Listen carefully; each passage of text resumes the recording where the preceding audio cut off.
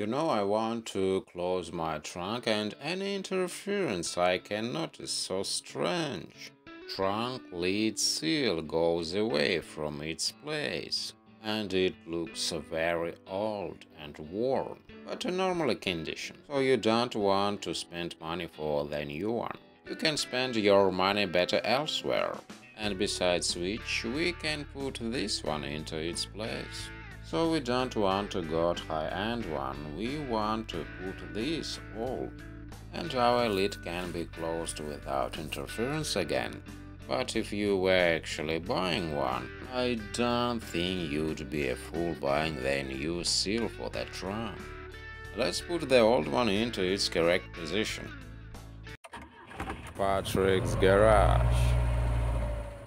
And you see airways where goes uh, air from car interior, hot air goes out through these airways and hot air and melted the snow under the rear window right in this place where our trunk lid seal. So snow and water and ice can be melted and frozen again with our seal. And in winter when I want to open the trunk, our seal tears out from the lid. The seal you see was installed or maybe replaced by previous owners, you see. And let's correct our seal a little bit. As you notice, we need a handy tool to not damage our seal and at the same time not scratching this gap and this our lid. You see a little bit rusty here this gap, but it's in good condition. I'm sure you'll probably agree that we should be cautiously at maximum. And this way we can install it into its correct place. We don't know which press decided to make these airways right here. So we only try to do everything in our power. We just get used to, to these improvements in quartz since uh, 70s, you know, in 60s, uh, there is no these airways. But truly say weather also can be different from day to day. Sun can melt the snow and snow can be frozen late in cold temperature. And the same way we can't open the trunk. Anyway, most of this work will have to be done on your own and be really cautious to not scratching and damaging the rubber. And you know you do it for yourself, so you can go through these uh, boring difficulties more easier thinking about that. You know, this rubber seal for the trunk interchangeable for 140 series and earlier models uh, from early 60s from 240 series, you know, before they changed the design of the trunk lid 240 series. So you can use uh, this uh, rubber seal from 240 series. So if you have Volvo 140 series, you can take this trunk lid seal from Volvo 240 series from the junkyard probably. You know I bought the, seal from 240 series and installed it for my 1969. So these parts interchangeable like door seals you know that we can use uh, all door seals from 240 series from all years and they installed to 140 series uh, you know I bought from Volvo 240 series and installed door seals for this Volvo 140 series. I really hope we're not going to install this rubber seal so often in winter. It will be so boring but we do it for ourselves. And we should install it for our own reasons. We don't water penetrates inside our trunk and wet groceries. We don't want to find wet groceries in our trunk. So this seal prevent penetration of dust and water into our trunk.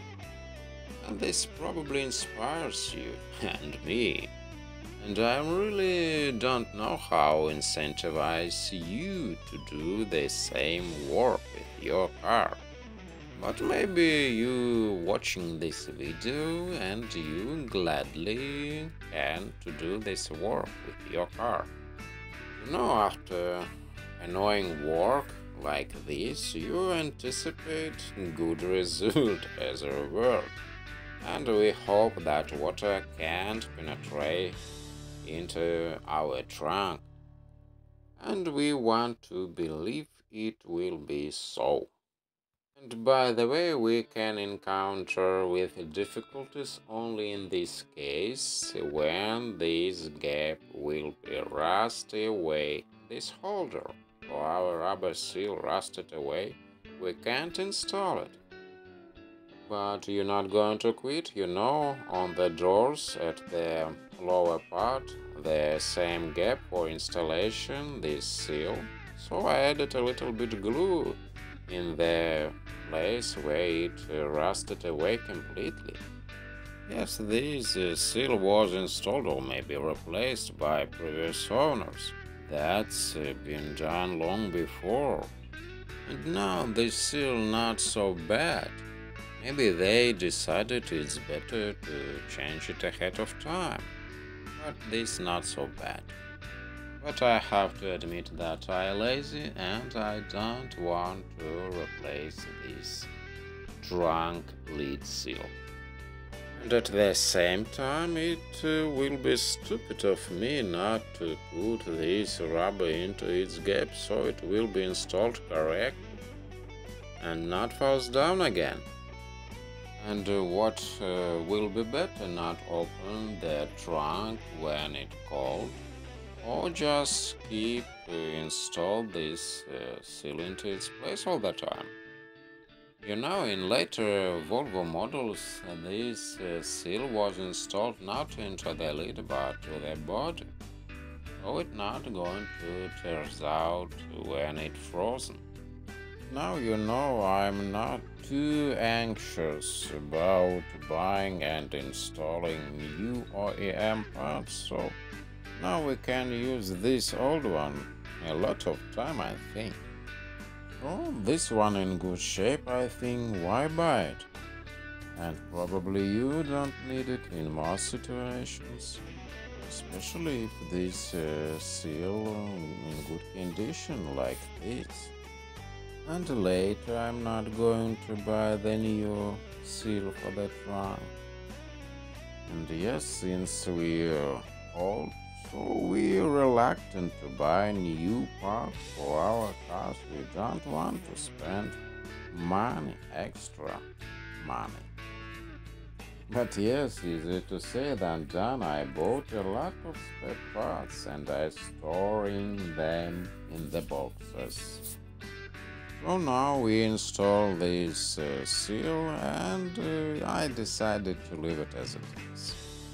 So we'll leave it alone in this condition for the time being. What interesting, when guys uh, install these uh, seals, they invariably using a screwdriver, slot screwdriver. But truly say will be better to use uh, any plastic tools to not scratching the metal and not getting the edge of the rubber. So we need to be very careful. Always more cheaper to fix up old stuff, not buying any new parts.